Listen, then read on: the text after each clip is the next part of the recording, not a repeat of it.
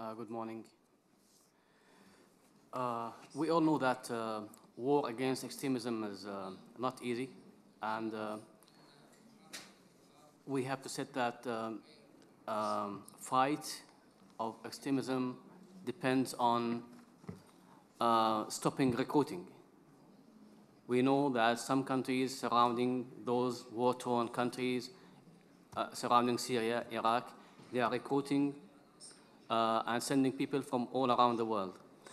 Uh, therefore, we have to um, start with, first of all, monitoring media, which um, mobilizes these young people who come and fight in Syria and Iraq and elsewhere. We know that 85% of the media coverage now is based on Western sources. And we publish in our media what these Western sources want.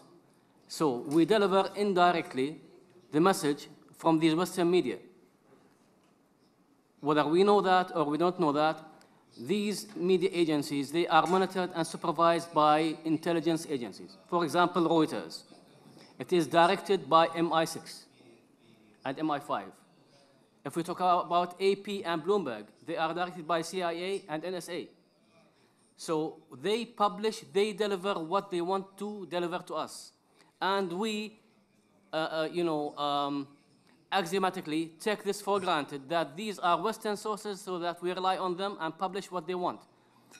So my suggestion is that we don't publish unless we filter out what we want to say because they have that bait in that message. Okay? This is number one. Number two, regarding cybersecurity, as I said yesterday, um, most of these servers are Western made, and they know what these guys are doing, what they are sending, and uh, what are their activities. So they notice and they watch. And I have been in one of these places. I was just watching all the messages that these guys are sending. They, on the monitors, they know who are these guys, where they are, what they are doing, and they tell them next time don't send these messages by, let's say, words or by characters. Send them by photos, because by photos nobody else except us can monitor you and know where, the, where you are. Okay? So this is one of these things that we have to take care of.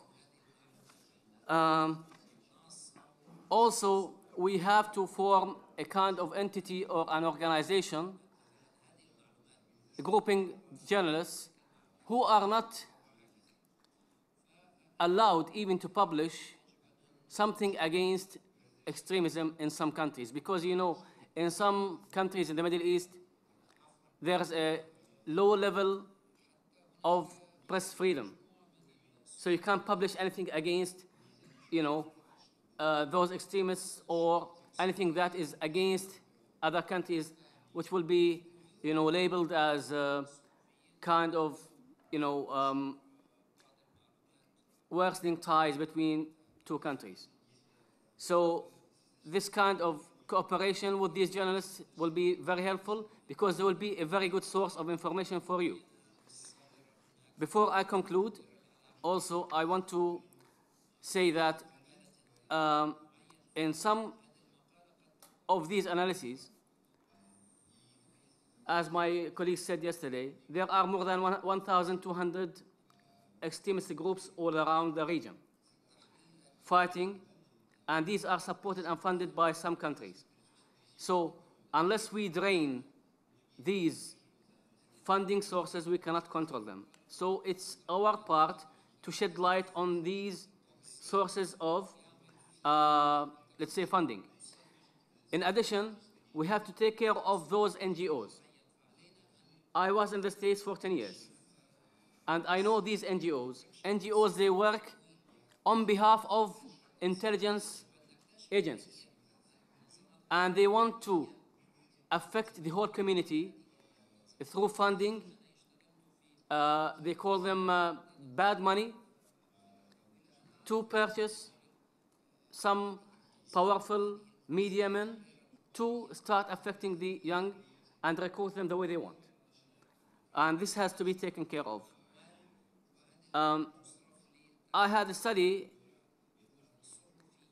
with this recommendation I can uh, share with you later. Um, what drives Westerners to join extremism and terrorism groups in the region? If you look here, it has to say social disenfranchisement, which means disunity. They have disunity. They feel they are in the EU, but they don't belong to EU. Okay? Then negative perception of immigration and high militarization in the region. Some people, they like to be militarized in their blood. It's in the DNA.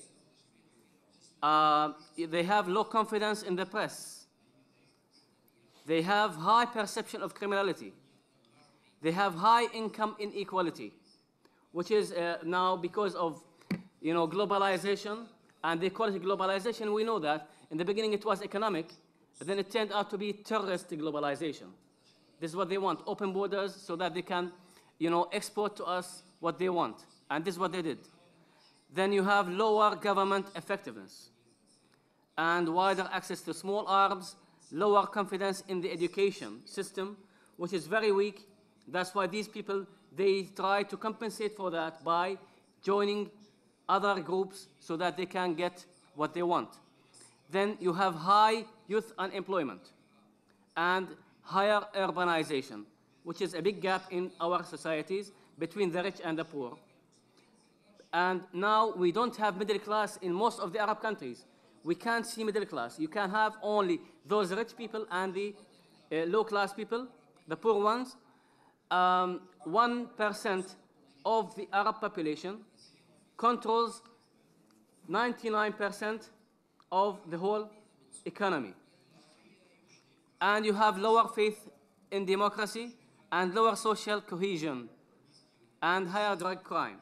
And this is the main point, uh, you know, the higher uh, crime, drug crime, is because of this. They try to keep these guys working in Syria and Iraq to save their own backs. Thank you.